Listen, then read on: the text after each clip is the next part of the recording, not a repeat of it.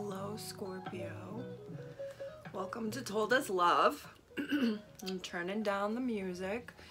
Um, if this is your first time here, thanks for coming by. If you're returning, thanks for sticking around. Um, I'm in the midst of migrating still, so Told as Tarot on the run. Not on the run, just like on the move. Um, Scorpio, this is for Sun, Moon, Rising, Venus, or if you have a bunch of Scorpio in your chart. Um, if you want to email me about a personal reading or just let me know how the reading resonates because you don't want to comment it, that's cool. I am at toldaslovetarot at gmail.com. Um, your likes, your subscribes, you're showing a friend so they'll subscribe helps me grow my little YouTube baby channel and I really appreciate it and I really appreciate your comments especially from a sign like Scorpio where I don't have any of that in my chart so your feedback is really appreciated. Alright Scorpio, you are my first one of the day. I was going to try to do you earlier and I just ran out of time so maybe you've been running out of time to get done what you need to do. Good. Very funny. I don't think I've seen that one yet. I don't like talking about feelings. Maybe someone hides their um, feelings with humor. I've never been in love. Kinky. Open relationship.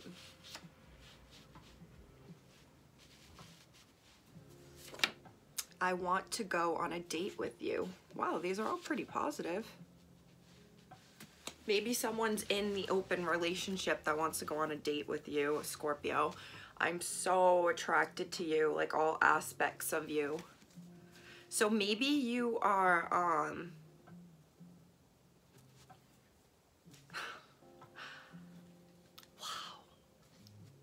This would just make so much sense. For what? For different people that I'm thinking about.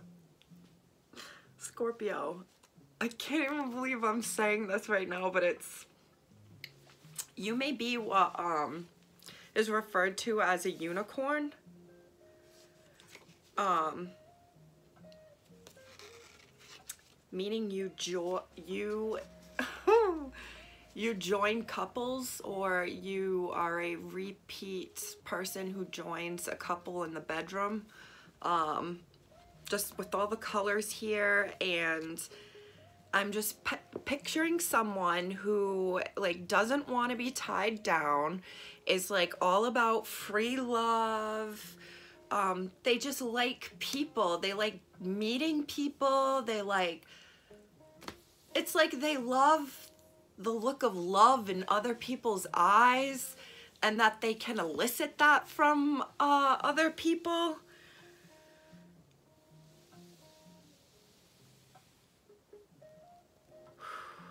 I just get this like I'm picturing a person going out with either someone who's in a relationship already, a committed re open relationship, an ethically non-monogamous relationship, or um, you are meeting a couple, maybe someone here prefers to date people in open relationships because they don't want to fall in love. They've never been in love. That's why it's like they don't care about, um, it's not that they don't care, but like there's no emotional attachments, which is Scorpios, I swear, are known for being able to control their emotions the most of all the water signs. Like, they can shut that shit off. Um, I also get this feeling of, like, someone hiding from love and their feelings by just having kinky, fun, sexual experiences. Um, they consider it very fun and someone is very fun in that regard like they they prefer to join people who are in a relationship and be the third to them or they enjoy um, just dating people who are already in relationships. I'm realizing now too, it might not even be an might not be an open relationship even if they said that it was. Someone could be entertaining someone who's in a whole relationship.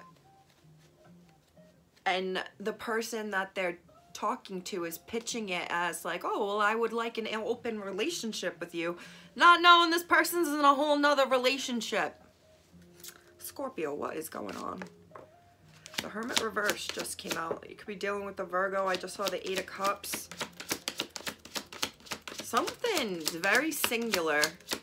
So looking for your own happiness. Looking for, it's like your truth within yourself knowing that you have voids, like emotional voids that you need to fill and work on, but being smart enough to not just fill it with the wrong person or the wrong activity or the wrong coping mechanism. this five, six, seven, eight, yeah. It's like being, it's having the strength to know that there is still something missing from your life that you are searching for but you're not going to settle for just anything or anyone. Like you want that specific one thing that will fill.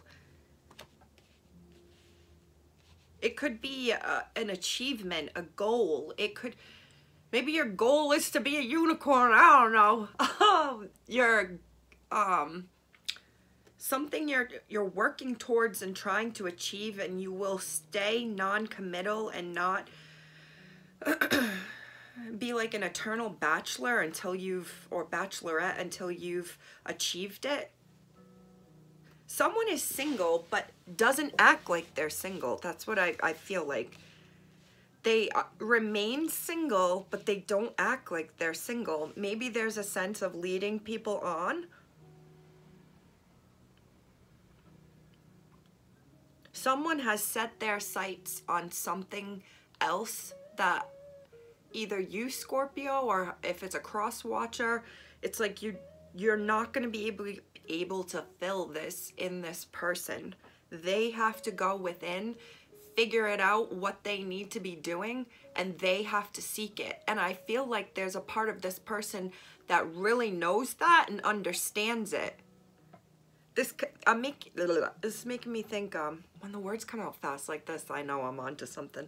This is reminding me of the Capricorn reading where it was something like the Emperor or just one partner was patiently waiting on the feminine energy to kind of like, I don't want to say get her shit together, but is being patient enough with her because he wants her. So he's going to patiently wait as she works through her stuff this is giving me that vibe of someone who wants to singularly work through their own stuff, maybe their own wounds from childhood and they're looking back at it. But um it's like an understanding that they're the only ones that can address these things. They can't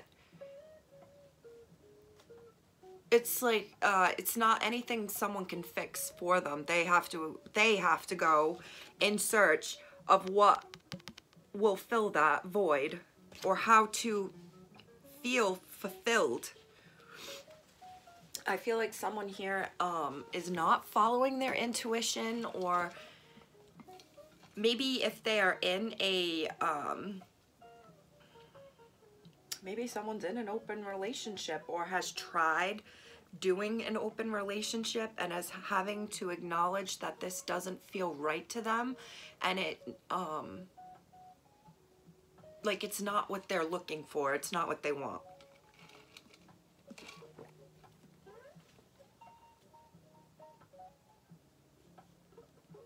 Wow this is interesting. This emphasis of wanting to do the work on your own Scorpio, wanting to do the inner work or they want to do the inner work on their own.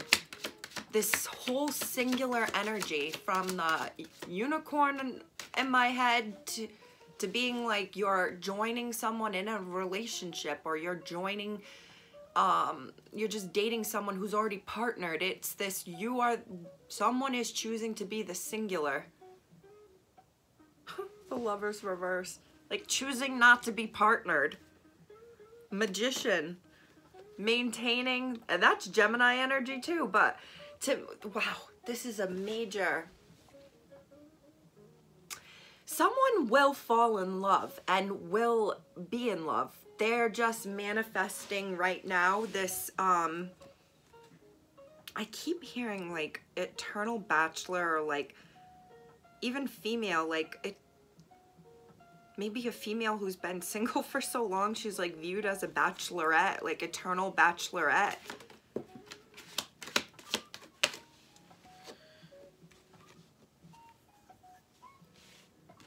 Seven of cups. So we have nine, eight, seven, and now this is nine of the numbers, nine, eight, seven. I feel like someone has, is if they're addressing some sort of internal thing, they're having to look back at stuff that happened maybe at those ages. Nine, six, seven, eight, nine, eight, seven. Someone might be born, um, September 9th, 79. Let's watch this. This is like the person. It's like that guy's looking up at the moon thinking, I don't know what I need to fulfill it. And that the moon has like thoughts of like, I don't know what I'm missing and what, what, where my path needs to take me. Like these are all the thoughts. I don't know someone is like confused or indecisive. I feel like as a personality trait, I'm hearing they don't stay tied to anything for too long. Scorpio.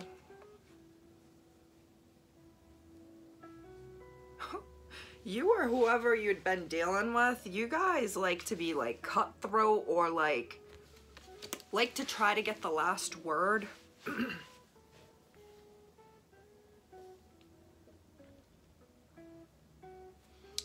Here's the nine of swords. Um,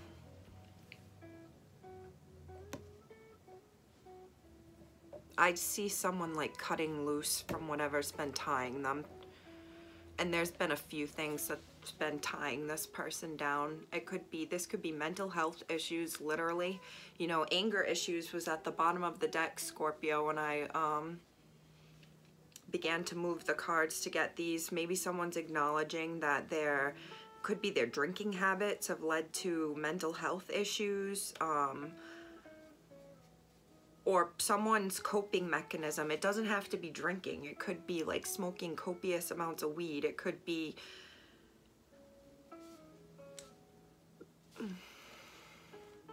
I just heard like getting into arguments like online, like being obsessed with online, going online and just being obsessed with attention and energy from online. Someone is like cutting ties from all that shit.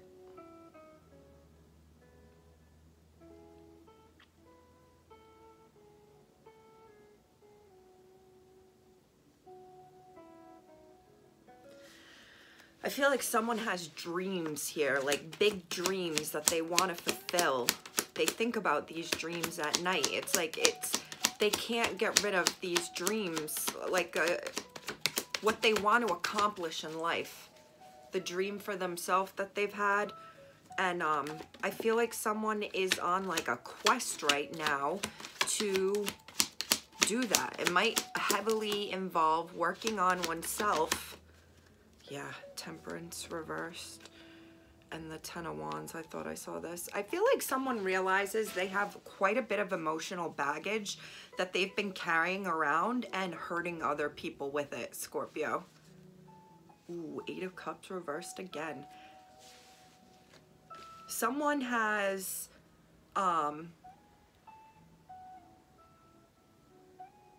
it's almost getting a feeling of someone's held them their own selves back, been like their own ball and chain with um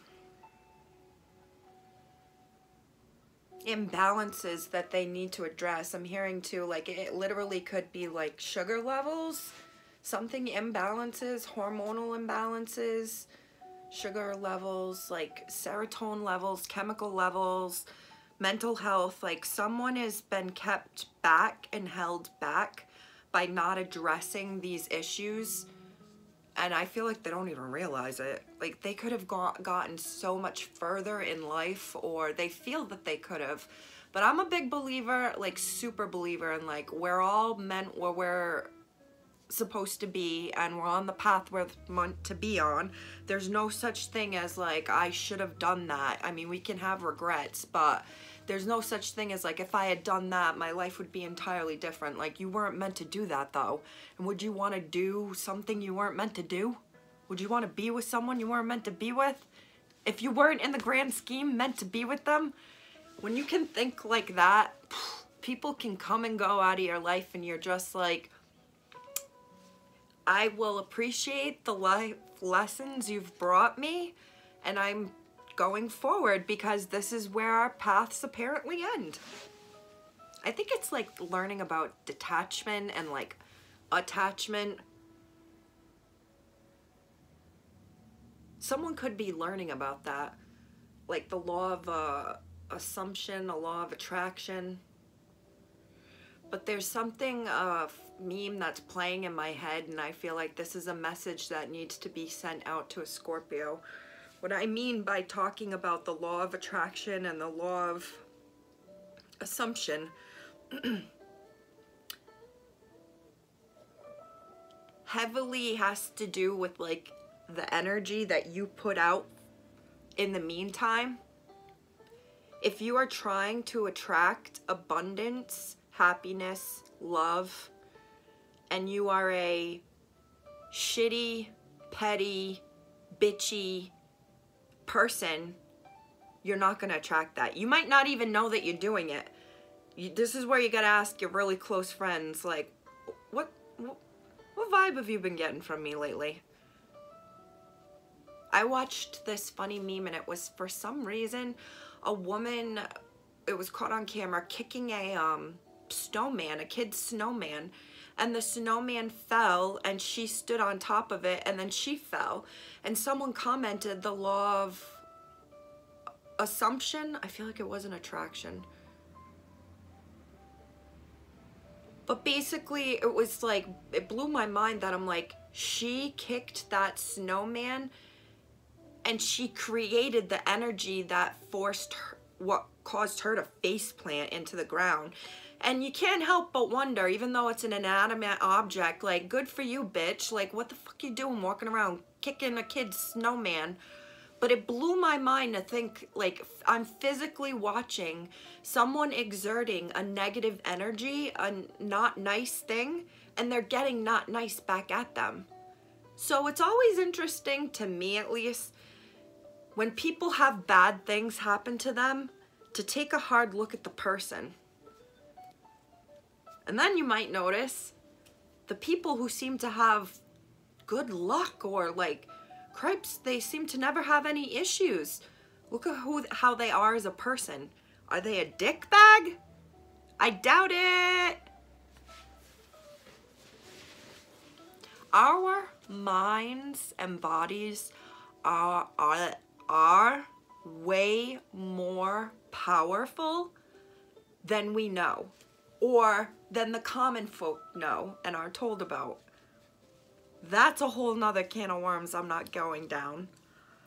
But I feel like why I'm mentioning this is maybe someone has been trying to manifest, has been trying to be, um, manifest love into their life and like wanting to be, okay, maybe someone wants to be a mom. They're trying to manifest the father of their child of their dreams and like they pray for this and they manifest it our brains and what we're praying for and manifesting is only half of the process. The other half of the process is actually physically doing something to create that manifestation. So you could do anything physically and manifest with it. Every time I do the dishes, I am calling abundance into me. Whatever you're doing, you can make it into manifestation. While I fold this laundry, I call uh, energy into me so I can fulfill the work needs I need to do tonight, whatever, however it means to you. If you are constantly trying to manifest love, the future father or mother of your child of your dreams, the picket fence and the dog and everything and cooking and weekend get-togethers with friends and family, but you're out dating and being mean to people, ghosting people, not communicating, um, being petty or putting stuff on social media making fun of people that you've dated. If you're putting out that energy, that co totally counteracts what you're manifesting because what you're manifesting and how you're actually acting aren't on the same page. There's a reason why I'm going this far into depth and there must be a Scorpio out there that needs to hear this. But basically, your prayers and your manifestations have to align with your energy.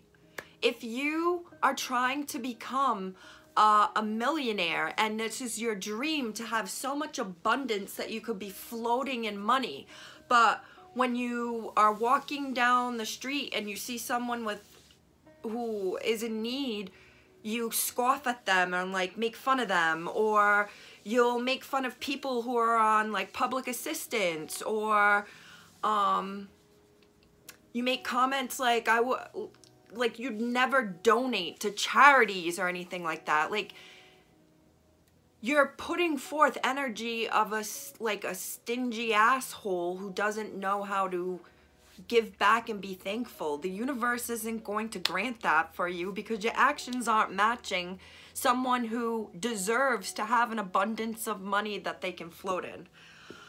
I hope this all made sense because it essentially does come down to our thoughts and our energy and our intentions.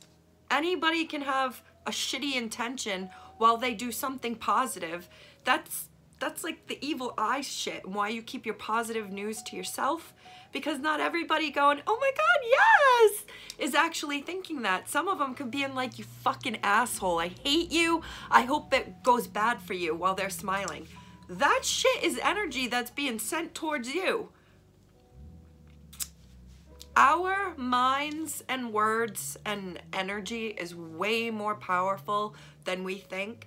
And once you start to harness that, Scorpio, once you really connect with and understand kind of the greater schemes of like every little thing that happens to me has put me on the path that I need to be at.